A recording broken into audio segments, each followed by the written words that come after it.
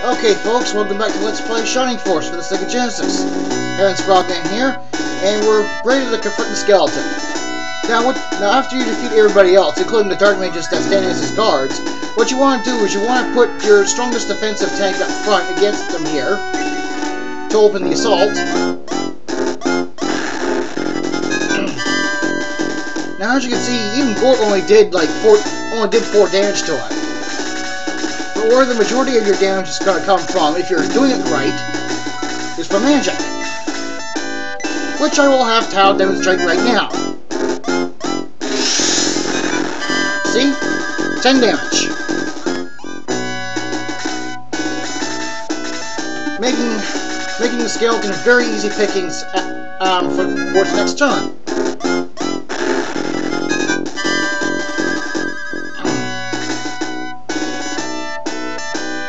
Okay, I'm actually going to have Gort move away here, and I'm going to let Max have the final blow. No, wait, actually, Henri's a little behind, so I'm actually going to have her deliver the final blow here. She, she just better not miss. There we go.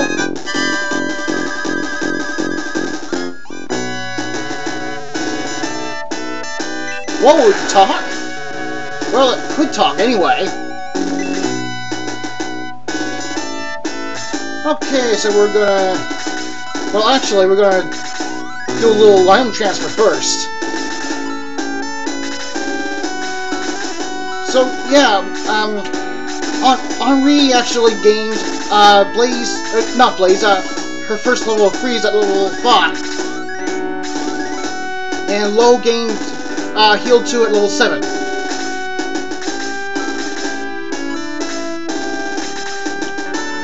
Yeah, I'm transferring everything here because there's a there's a lot of treasure in here, and I need to make some free space for them. But there we go. There's the object of our questing here, the Orb of Light.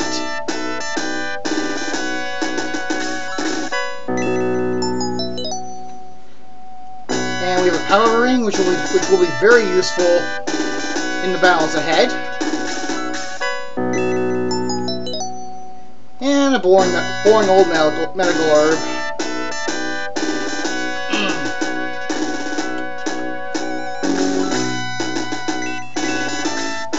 okay, so I'm actually going to give the power ring to. I think I'm going to give that to Luke. Try to up, try to up his uh, attack power a little bit more to compensate for his relatively low defense, at least compared to Gort anyway, right now. And what's up? Well, first I better give...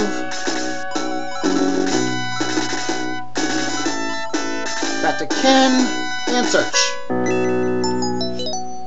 And a power staff, okay. Alright, that's that, folks. Let's get that, let's get out of this blasted place.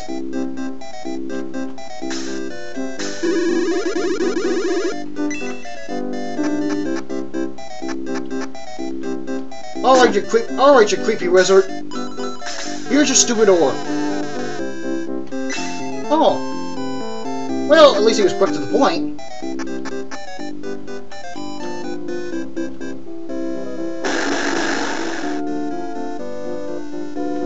And now, now at the spot you want to use the orb of light.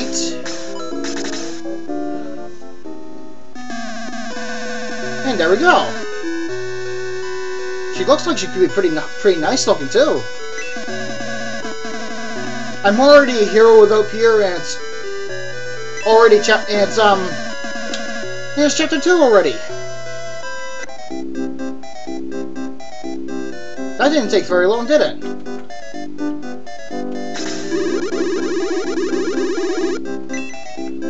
Okay.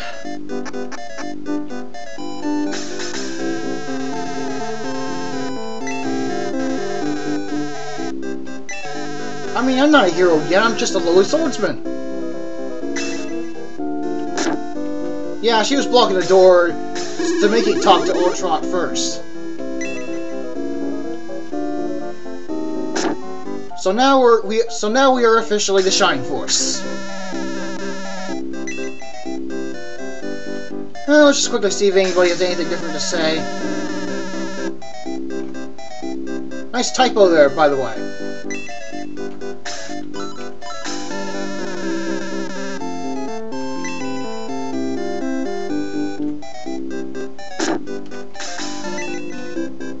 Okay, before we go, we do have somebody we want to pick up. Oh, nuts. Back up the stairs. Hey, you. Well, that was a sudden change of heart.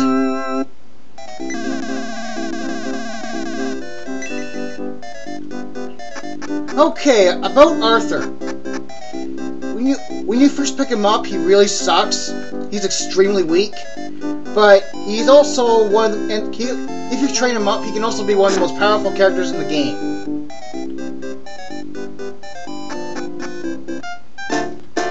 And as soon as he gets promoted to a paladin, you'll you'll understand why. But for now, let's just return to Rindo and see if maybe we can get the mayor to change his mind about lending us that ship so we can take off after Kane. Okay, Nova, what kind of nuggets of wisdom do you have for us today?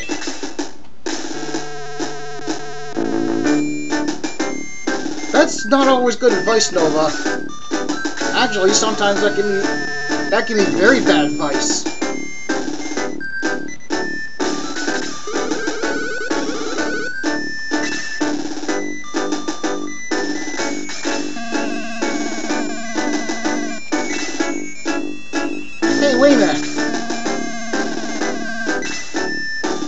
Sprite almost looks looks almost exactly like Mae's. I mean, if they weren't standing on the same screen together, you'd have a kind of a hard time telling them apart. But anyway.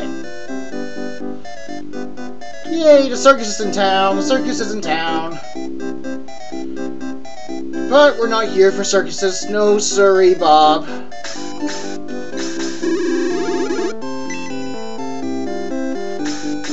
Here for ships.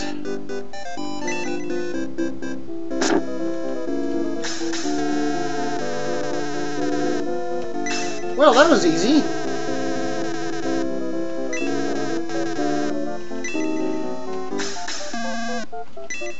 Now, gee, I wonder, what is different about this place from before?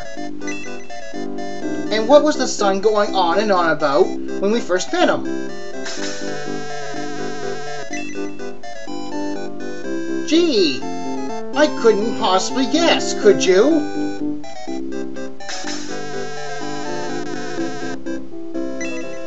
Well, aren't we pushy?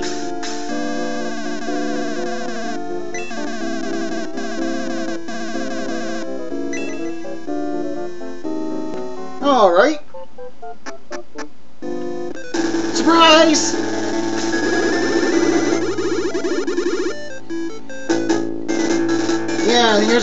Totally non-dramatic turn. Oh hey, the enemy's already acknowledging us as Shining Force. Fantastic.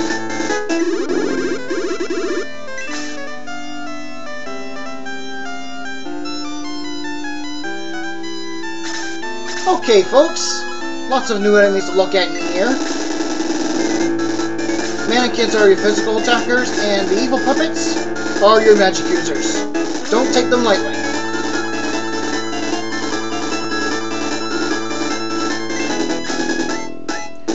The Dire Clowns are another rather physically um, imposing enemy. Be very careful when you're dealing with them.